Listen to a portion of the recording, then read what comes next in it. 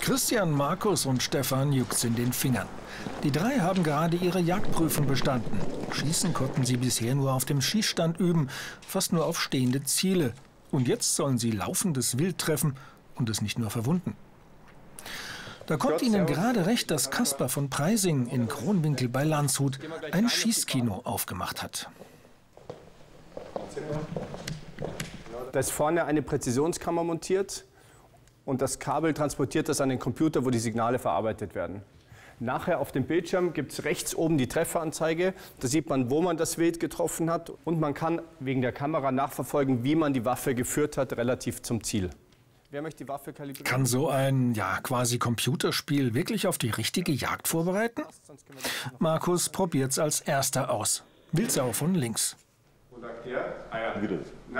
Das Programm zeigt ihm genau, ob und wie er getroffen hätte. Und er bekommt Tipps vom Profi bevor Sie einen Anschlag gehen, wild erfassen und dann erst den Anschlag kurz mitziehen und dann. Und dann?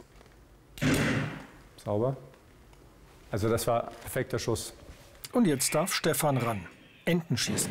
Wunderbar, wunderbar. Ja, da haben Sie korrigiert, dann sehen Sie auch, warum Sie die Ente quasi graten auch so. Aber getroffen haben.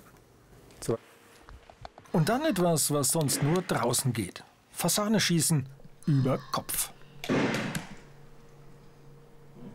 das ist die höchste Kunst. Also für mich, die Fasane ist sehr anspruchsvoll und ähm, dadurch, dass man hier aber ein Zielkonzept mit einstellen kann, kann man also seinen Haltepunkt entsprechend trainieren und den Bewegungsablauf. Das bringt viel, macht Spaß. Jetzt nehmen wir mal eine Szene, wo und dann gibt's noch großes Kino, Realfilm. Szenen, wie sie dem Jäger jederzeit im Wald begegnen können. Zwar auf Leinwand, aber dennoch erstaunlich realistisch, meint Markus. Man hat wirklich das Gefühl, man steht da im Freien und, und äh, die Szenen, die sind ja äh, eben noch realistischer als äh, in dem anderen. Und da wird das sehr gut simuliert. Einschließlich kläffender Jagdhunde. Unser Jungjäger hat der Nachmittag überzeugt. So ein Schießkino hilft, im Wald besser zu treffen und dem Wild unnötiges Leid zu ersparen.